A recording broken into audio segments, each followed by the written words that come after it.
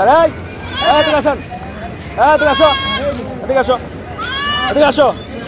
তোমাকে আমি ডাকছি না? হ্যাঁ? এটা এটা তুমি কে? তুমি এটা নিছো কেন? এই হেল্প করলাম। হ্যাঁ? কিসের হেল্প করছ? এটার কাজে আচ্ছা, আপনি কি তো- বলেন তোমার এখানে গিয়ে কাজ কি? শোনান মাস্তানি করবেন না। কিসের মাস্তানি করবেন না আপনাকে বললাম। আপনার প্রতিষ্ঠান আপনার কোনো পরিচয় নেই আপনি বলতেছেন এলাকার মানুষ।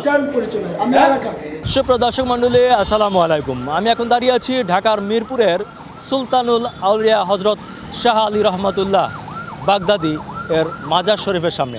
আপনাদেরকে ভিতরে নিয়ে যাব। আপনারা জানেন যে এই শাহ আলী হজরত শাহ আলী রহমতুল্লাহ আলাই একজন বিখ্যাত আউলিয়া ছিলেন। এই মাজারে প্রতিদিন অসংখ্য ভক্ত অনুসারীরা আসেন এবং তারা এসে এখানে রীতিমতো মাজার জিয়ারত করেন। মাজারে অনেক দান খয়রাত সদগা করেন, কেউ গরু নিয়ে, ছাগল নিয়ে, খাসি নিয়ে, কেউ মুরগি নিয়ে এই মাজারে আসেন। আপনাদেরকে আজকে একটা ব্যতিক্রমের জিনিস দেখাবো। আপনারা যদি একটু আমার সাথে আসেন, দেখুন, এই মাজারের মধ্যে অসংখ্য ভক্ত অনুরাগীরা এই মাজারের গেট থেকে ঢুকে তারপরে আস্তে আস্তে সামনের দিকে যায়।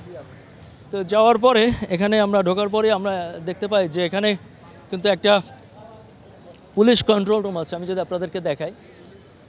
যে পুলিশ কন্ট্রোল রুম আছে, ঠিক পুলিশ কন্ট্রোল রুমের সামনে, যে ঠিক এই জায়গায় এসে যখন কোনো ভক্তরা খাসি, মুরগি, গরু, ছাগল ইত্যাদি নিয়ে আসে, তখন একটি চক্র আছে যারা এখান থেকে এসে ছো মেরে সেই ছাগল, মুরগি নিয়ে যায় এবং নিয়ে তারা পিছন দিকে চলে যায় এবং পিছন দিকে এমন একটা জায়গায় চলে যায় যেটি হচ্ছে এই টোটাল কম্পাউন্ডের বাইরে। পরবর্তীতে আমরা সেটি হাতে নাতে ধরি। দর্শক, আপনাদেরকে যদি একটু দেখানোর চেষ্টা করি।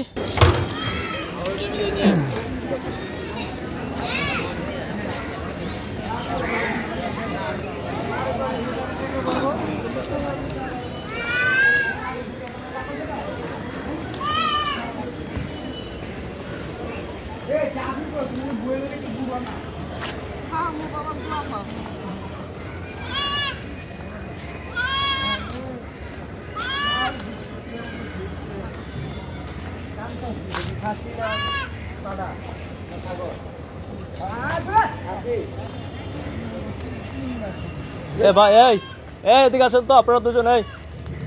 এদিকে আসেন। হ্যাঁ দুজনেই আসেন। এগুলো কইলে যাচ্ছেন এগুলো? হ্যাঁ? মাজারের ঘরে জঙ্গলের মধ্যে কেন? এদিকে আসেন এদিকে আসেন। আসেন। কে দিছে মাজার? আসেন।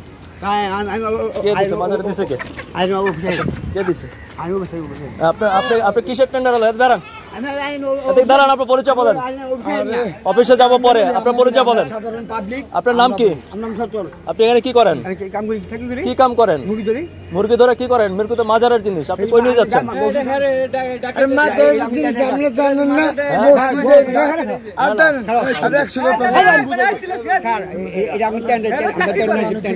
স্যার মাজারের কিসের টেন্ডার এই, এদিকে আসেন। এদিকে আসো। এদিকে আসো। এদিকে আসো। তোমাকে আমি ডাকছি না? হ্যাঁ? এটা এটা তুমি কে? তুমি এটা নিছো কেন? ওই যে হেল্প করলাম। হ্যাঁ? কিসের হেল্প করছ? এটার কাজে আচ্ছা, আপনি কি বলেন? তোমার এখানে গিয়ে কাজ কি? অপশন আছে। বলেন হ্যাঁ?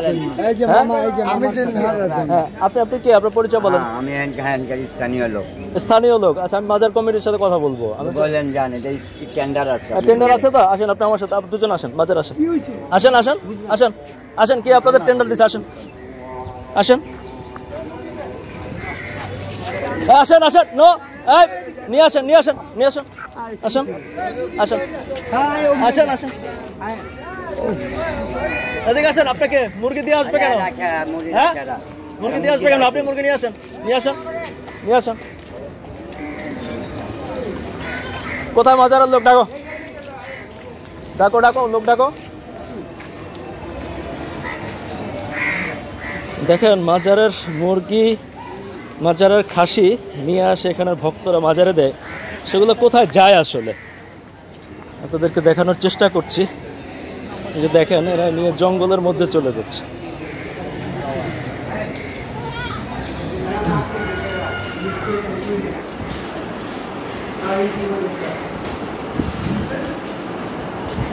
আমরা দেখলাম যে মাজারে যে মুরগি দিচ্ছে ছাগল দিচ্ছে হ্যাঁ, আপনার পরিচয়টা একটু জানেন প্রধান সহকারী আচ্ছা। দেখলাম আমরা দেখলাম যে গেট থেকে ঢুকতেই এরা মাজারে যাওয়ার আগে এরা এদেরকে খপ করে ধরে ফেলে।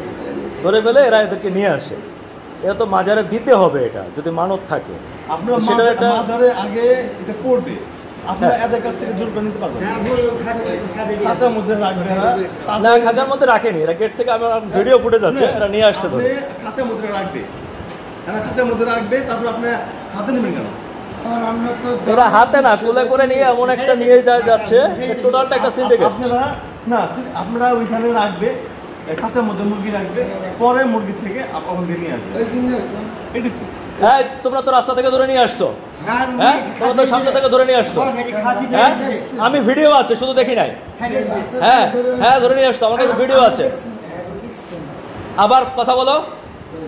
এই কি কথা আছে না? হ্যাঁ? মাজারের জিনিস মাজারে যাবে। আমরা ইনভেস্টিগেশনে দেখেছি যে এই চক্রটির সাথে এখানকার যারা প্রশাসনিক লোকজন আছে, তারা প্রত্যক্ষভাবে জড়িত। দর্শক, আপনাদেরকে দেখাচ্ছিলাম যে দেখুন, আমরা হাতে নাতে ধরলাম। হাতে নাতে ধরে সেই খাসি এবং মুরগি আমরা প্রশাসন ভবনে নিয়ে গিয়েছিলাম। প্রশাসন ভবনে যাওয়ার পরে আমরা দেখলাম যে প্রশাসনের এখানকার যারা ম্যানেজার আছে, তারা তাদেরকে প্রকাশ্যে ছেড়ে দিচ্ছে। আরও চার পাঁচজন। এই যে ছাগল, মুরগি নিয়ে আসলো কই? হ্যাঁ? ছেড়ে দিয়েছেন? তাড়াতাড়ি নিয়ে আসেন। আপনি অস্থির আপনি এভাবে কথা বলবেন না। আমি আপনি তাড়াতাড়ি নিয়ে আসেন যান। আমি নিজেকে ধরে নিয়ে আসলাম আপনি ছেড়ে দিলেন কেন? আচ্ছা, নিয়ে আসেন নিয়ে না নিয়ে আসেন এখানে নিয়ে আসেন। আচ্ছা এটা রাখেন আমি কথা বলতেছি। না না আপনি যা বলবেন আপনাকে ক্যামেরায় বলতে হবে। তা আপনার কাজ কি? আপনাদের একটু ক্ষমতা নেই আপনারা বাতিল করার কিংবা এদেরকে ধরার? ধরার তো অবশ্যই ক্ষমতা আছে কিন্তু বড় ধরনের এমপি মহোদয় তো এটা পাহারা দিবেন না তাই না? সেটা ঠিক তাহলে আপনি এমপি মহোদয়ের নাম বলছেন তো উনি আমার কর্তৃপক্ষ ওনার অনুমোদন ওনাকে অবশ্যই আপনি জানাবেন হ্যাঁ, সেটা ঠিক আছে বাট আপনি এখন ইনস্ট্যান্ট ব্যবস্থা নেবেন সেটার জন্য তো আর ওনাকে লাগবে না। ইনস্ট্যান্ট ব্যবস্থা নিব ওদেরকে এখন ধরবো। ধরে আটকায় আটকে রাখতে পারব বাট এইটুকু ছাড়া তো আটকায় রাখেন। আপনি আটকায় রাখেন।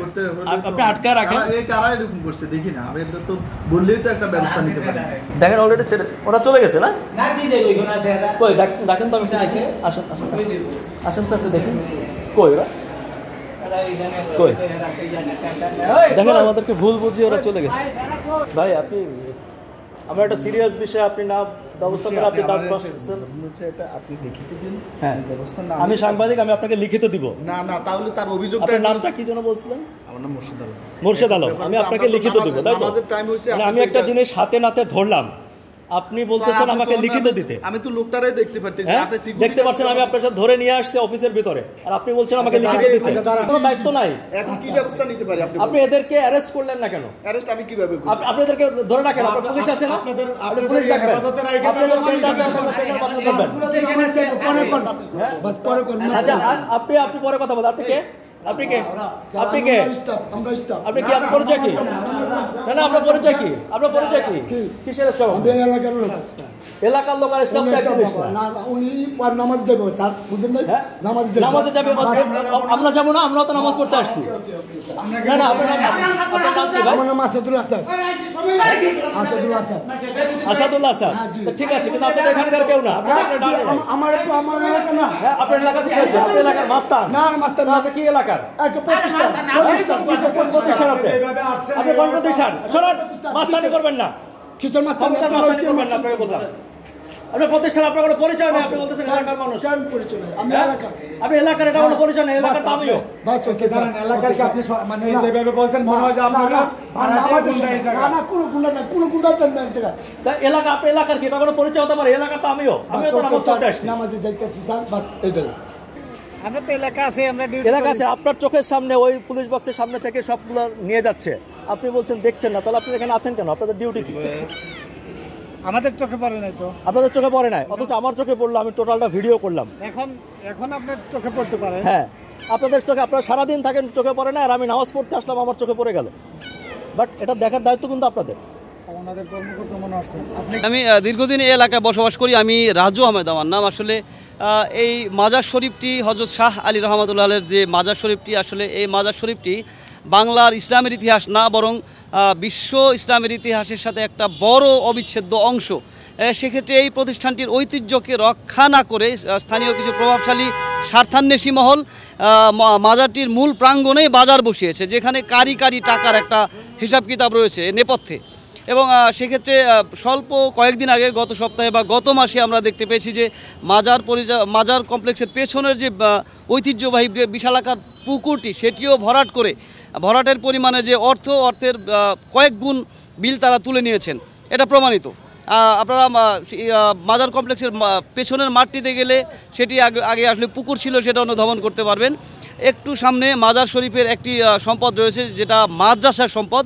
সেই সম্পদটিকে দখল করে স্থানীয় একজন কাউন্সিলর মুজিব সরোয়ার মাসুমের নেতৃত্বে বহুতল ভবন নির্মাণ করা হচ্ছে। রাত দশটার পরে এখানে প্রশাসনিকভাবে সাধারণ জনগণের প্রবেশের নিষেধাজ্ঞা থাকলেও গভীর রাত্রে আসলে এই মূল গেটটি ব্যবহার করে পেছনের আরেকটি গেট রয়েছে। সেখান দিয়ে শত শত শত শত বিভিন্ন ধরনের যানবাহন প্রবেশ করে কাঁচামাল আনায়নে তারা ব্যবহার করছে। আসলে ঐতিহ্য, পবিত্রতা সম্পূর্ণভাবে ভুলুণ্ঠিত হচ্ছে আমি মনে করি এই জাতীয় ঐতিহ্যবাহী প্রতিষ্ঠানের। মাজার, মানুষের আবেগ, অনুভূতির একটি জায়গা। অথচ এক শ্রেণির মানুষ আছে যারা মানুষের এই আবেগকে নিয়ে, এই অনুভূতিকে নিয়ে খেলা করে। হজরত সুলতানুল আউলিয়া হজরত শাহ আলী রহমতুল্লা আলহের মাজারে এসে আমরা এমনটা দেখতে পাবো, আশা করিনি। মানুষের এই আবেগ অনুভূতি, তারা এই যে মানতগুলো করে, সেটি যথাযথভাবে মাজার কর্তৃপক্ষের হাতে পৌঁছায় না, কিংবা মাজারে যারা এটি রক্ষণাবেক্ষণ করে, তাদের হাতে পৌঁছায় না। যেই ছাগল দিয়ে, যেই মুরগি দিয়ে, যেই খাসি দিয়ে মানুষকে প্রতিদিন খিচুড়ি রান্না করে খাওয়ানোর কথা, সেটি লুটপাট করে খায় এখানকার এক ধরনের ক্যাডার শ্রেণির মানুষ আর তাদেরকে সরাসরি সহযোগিতা করে প্রশাসনের লোকজন। দর্শক মণ্ডলী, আপনাদেরকে আমাদের দায়িত্বর জায়গা থেকে দেখানোর চেষ্টা করলাম, বাকিটা দায়িত্ব হচ্ছে প্রশাসনের। আমি আশা করব প্রশাসনে যারা আছেন, তারা বিষয়টি দেখবেন, অতি দ্রুত ব্যবস্থা নেবেন। আলী আসগর ইমন, এটিএন বাংলা, ঢাকা।